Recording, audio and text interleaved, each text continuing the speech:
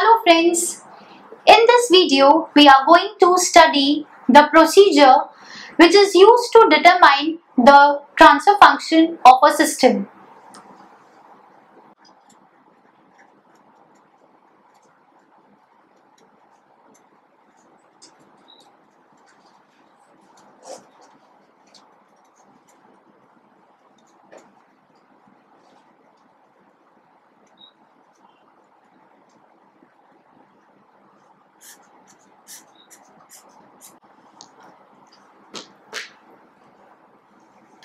The first step the transfer function is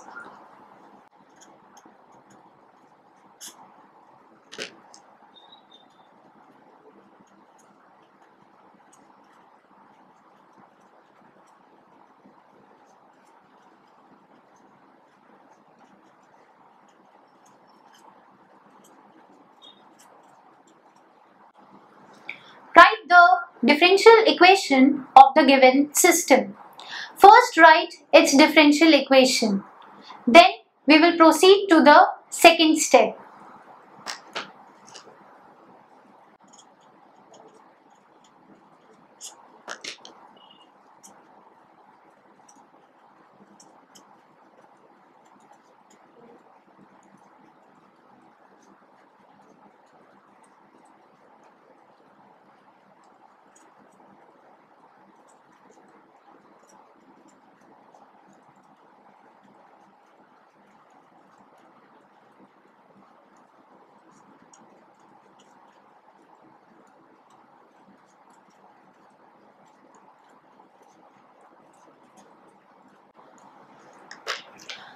Now, after writing the differential equation of the given system, take the Laplace transform of both sides of the equation and taking an assumption that all the initial conditions of the system are 0.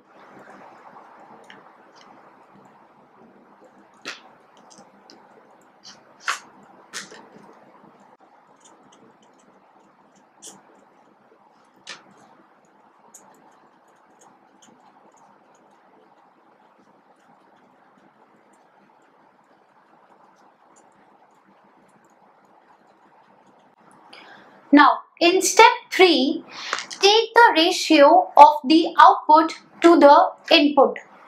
In second step, you have taken the Laplace transform of the equation which we have obtained in step 1 and we have taken the assumption that all the initial conditions are 0. So now take the ratio of the output and the input. You have to first understand that what is the output of the system and what is the input of the system. And when you know the input and the output, then try to make or try to take out the ratio of the output and the input. So you will get the ratio of the Laplace transform of the output and the Laplace transform of the input and also you have taken the assumption which, we, which is defined in the definition of the transfer function. So step 4 will be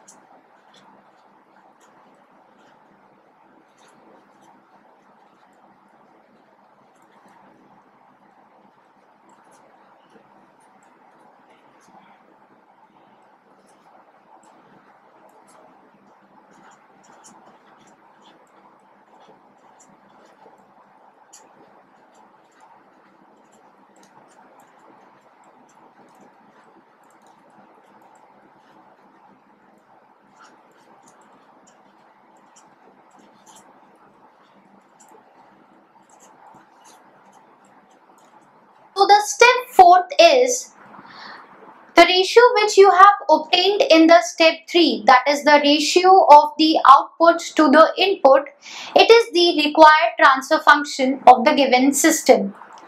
So these are the steps which you have to follow to determine the transfer function of a system. Let's summarize these steps. In first step, first write the differential equation of the system. In second step, you have to take the Laplace transform of the equation and you have to take the assumption that all the initial conditions are 0. In step 3, you have to take the ratio of the output to the input and in step 4th, the ratio which you have obtained will be the required transfer function of the given system. So I hope that you have understood the topic clearly. Thank you.